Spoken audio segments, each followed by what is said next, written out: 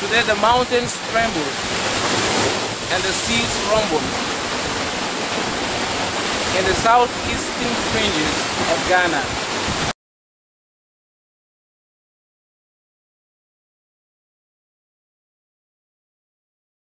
If you give a duck a chance, it will prefer to fly like a kite.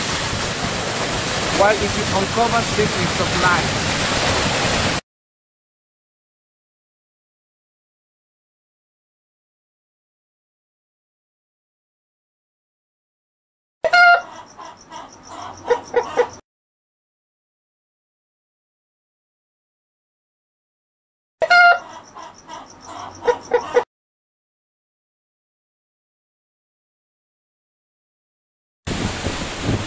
For that I hear the wretched stories of wars every day from sun up to sundown turn me into a gorilla.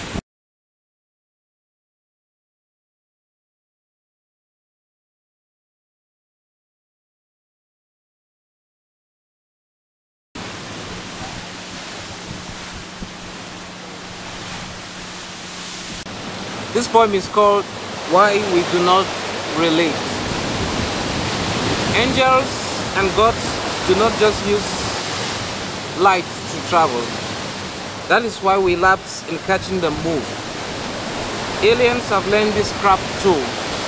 That is why only training can see them so. And only they can reveal themselves to us. They use neutrinos and other subparticles.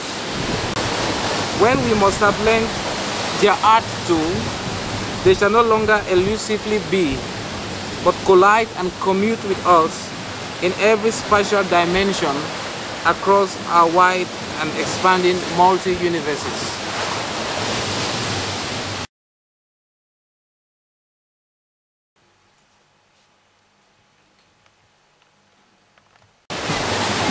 Well, this poem is um, simply talking about the reality of other supernormal creatures within the various spatial dimensions of our multi-universes. And it's a scientific based poem and it's saying that sub subparticles uh, like neutrinos might be responsible for the movements that are um, faster than light and probably why we cannot perceive spirits and aliens um, easily. So it is a suggestion that these forces have mastered the art of subparticles and that is why we find it difficult or we find them elusive. And when we must have gone to the stage of understanding these subparticles, we will be able to commute and to coexist with them. But remember, by the time we get there, the relativity theory must have been smashed.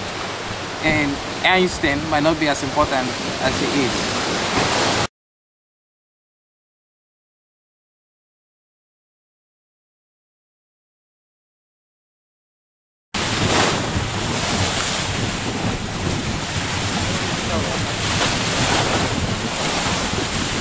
Today the mountains tremble and the seas rumble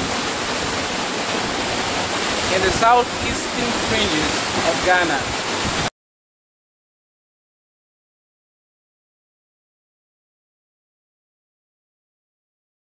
You give a duck a chance, it will prefer to fly like a kite.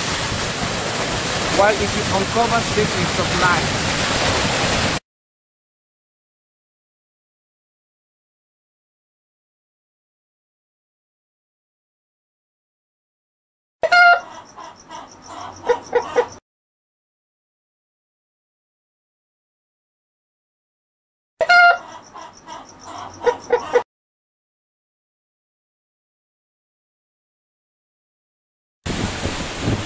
For that I hear the wretched stories of wars. Every day from sun up to sundown turn me into a gorilla